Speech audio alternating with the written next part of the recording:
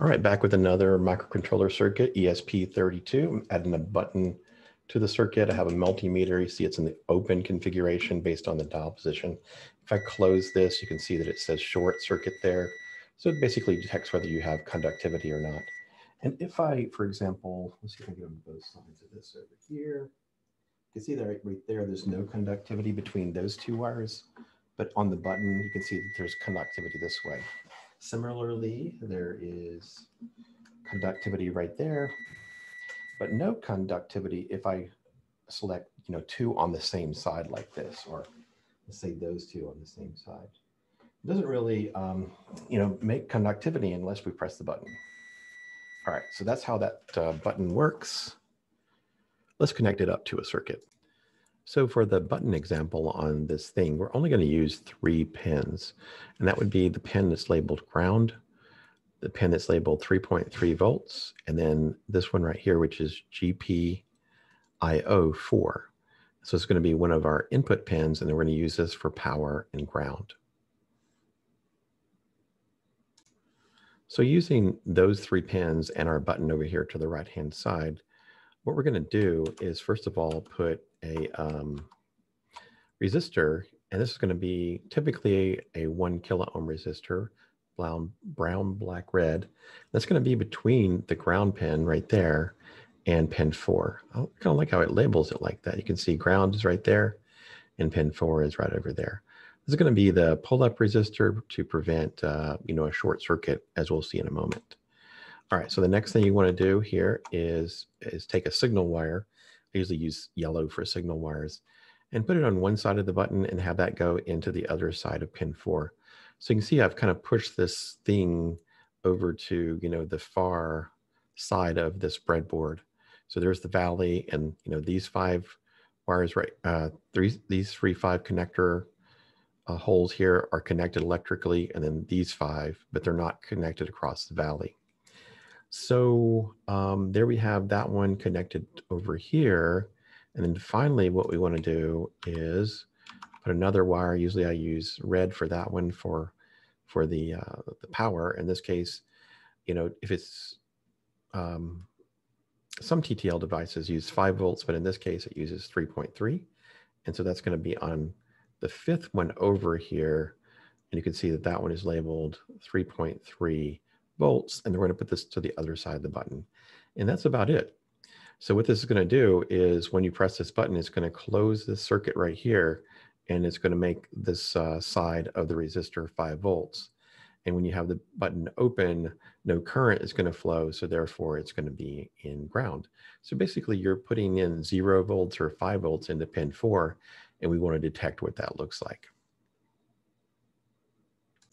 All right, so let's program this circuit uh, so that the thing will respond to the button presses. You can see my resistor. Um, actually, I'm using a 10 kilo ohm resistor, but I think it'll still work. And you can see that I have it tied to ground right there and then pin four.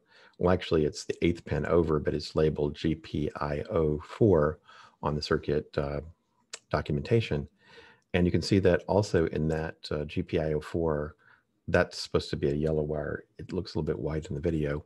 We have it going to one side of the button, and then we have this five, uh, I'm, I'm sorry, not five volts, but 3.3 volts over here coming out of the fifth pin over. And uh, that's where it's being supplied with power. So what we want to do is detect when this button is pressed. So what we're going to do is go over here to File, Examples, Basics, and we're going to do a digital read serial. So again, that was uh, File, Example, our basics, and then uh, digital read serial. So we, once again, we can uh, remove the comments uh, just so we can look, take a look at the code. It says that it's really configured to use um, a button press of the GPIO2. So we're going to modify the code and uh, put a 4 right there because we're going to use 4 as the input rather than 2.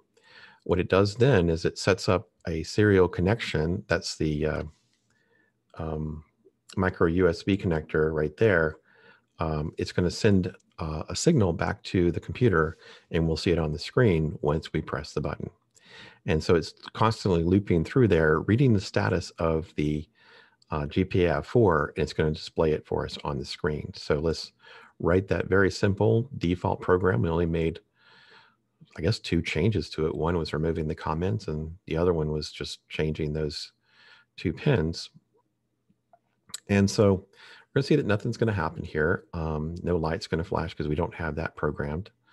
But what we, what we will see is if we go up here to Tools and we go to Serial Monitor, um, you can see that right now it's de detecting that pin 4 is in the ground state, in other words, uh, zero volts.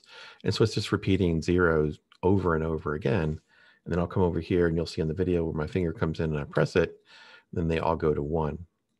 So it's really detecting what I'm doing. So a motion over here on the circuit is leading to uh, the computer realizing what it's doing, uh, what I'm doing over there.